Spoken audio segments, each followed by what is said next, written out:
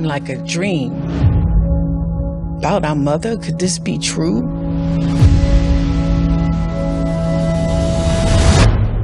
What you don't understand is we didn't know nothing. I don't know, Rebecca. I'm not doing anything behind your back. Henrietta helped develop the AIDS cocktail, chemotherapy treatments.